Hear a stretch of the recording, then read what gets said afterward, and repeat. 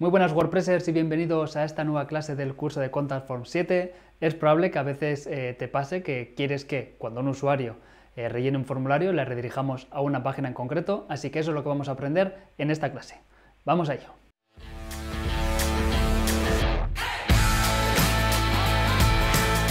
Bueno, pues ya estamos aquí en nuestro querido WordPress. Lo que vamos a hacer es ir aquí a Plugins, añadir nuevo. Aquí arriba en el buscador ponemos Redirection contact form 7.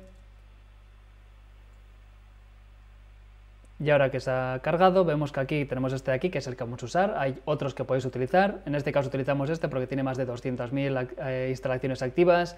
Se ha actualizado hace poco, las valoraciones son muy buenas, así que vamos con este. Y una vez instalado, le damos aquí a activar.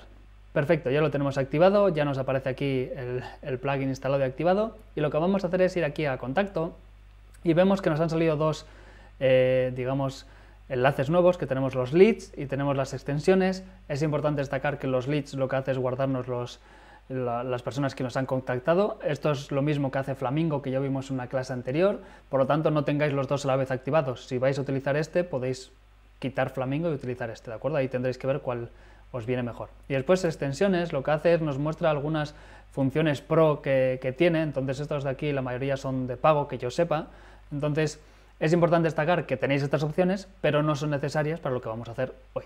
Así que vamos a ir a formularios de contacto, vamos a ir a contacto, que es el nuestro, y aquí nos han salido dos pestañas, por un lado son extensions, que son las extensiones que hemos visto hace un momento, y por otro lado son las acciones.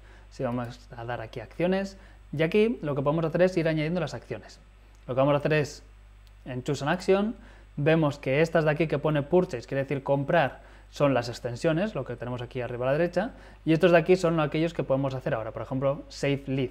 Estos no los guarda directamente, tenemos que crear una acción para que los guarde, porque no queremos que los guarde de todos los formularios, o sí o no, ¿vale? Entonces eso tendréis, tenéis que tenerlo claro, ¿no? En este caso vamos a usar redirect, que es redirigir. Le damos aquí a añadir acción, y ahora hacemos clic en New Action.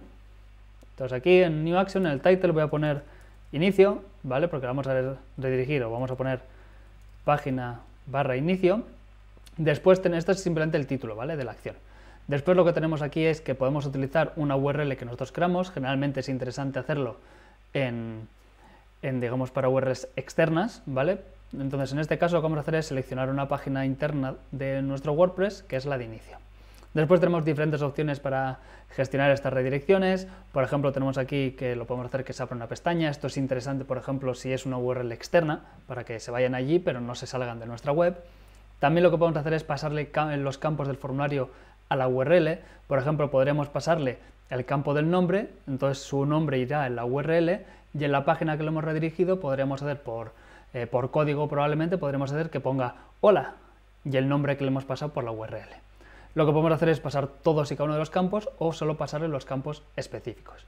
Después aquí tenemos la opción también de añadir un delay o añadir un retraso a esta acción. ¿Eso qué quiere decir? Que nosotros igual lo que queremos es, vale, cuando le dé enviar y el formulario se envíe, espera tres segundos antes de que se, de que se envíe. Es una opción que tenemos como para, por ejemplo, ponerle el típico mensaje de, oh, mensaje recibido, será redirigido a otra página en tres segundos. ¿Vale? Pues para esto sirve. Y este de aquí abajo lo que hace es permitir que, o activar y desactivar la redirección, ¿vale? Podemos tenerlo ahí guardado y cuando nosotros queramos, pues activarlo y desactivarlo. Entonces le vamos a dar a guardar, ¿vale? Entonces esto ya lo tenemos aquí activado, que está aquí, Enable Redirect, ¿vale? Está activado.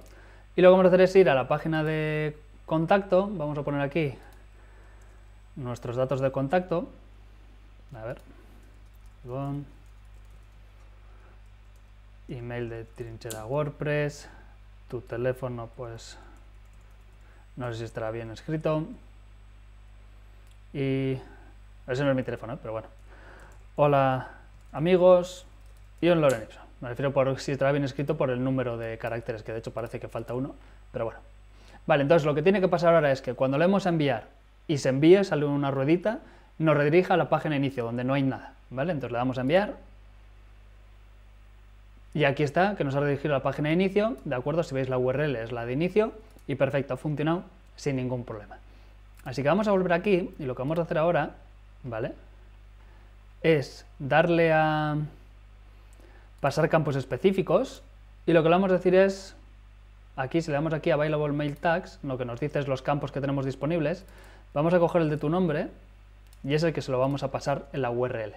¿vale? Y además le vamos a poner un retraso de 3 segundos. Que parece que no, pero 3 segundos esperando así en silencio hasta que se pasen se pueden hacer muy largos. Así que le vamos a dar aquí a guardar. Vamos a volver a nuestra página de contacto. ¿De acuerdo? Y ahora lo que hacemos que es, venimos aquí a tu nombre, Ivonne, Goitian, el email de trinchera WordPress, un teléfono, y ahora un asunto, hola amigos 2 y el mensaje. Vale, entonces, si tenemos en cuenta lo que hemos hecho, lo que tiene que pasar es, le vamos a dar a enviar, va a salir la ruedita y una vez que la ruedita desaparezca y el formulario se ponga en blanco, va a esperar 3 segundos antes de redirigirnos a la página de inicio y entonces veremos que en la URL, en la parte de aquí arriba, nos va a pasar un parámetro con mi nombre. Entonces vamos a darle a enviar, 1, 2, 3, se redirige automáticamente y aquí pone tu nombre igual Ivonne. Por lo tanto, hemos visto que funciona perfectamente. Y eso es todo por esta clase, espero que te haya parecido interesante lo que hemos hecho con las redirecciones y el pasarle parámetros. Eh, ya sabéis que a partir de la programación podéis hacer cualquier cosa, lo que más os guste con esos parámetros ahí arriba. Y si te ha parecido interesante esta clase y este vídeo, no dudes en darle a me gusta, en compartirlo, en dejarlo en los comentarios, en decirnos que lo maravilloso que te ha parecido o lo no, aquellas cosas que podemos mejorar. Y nos vemos en una próxima clase. Hasta luego.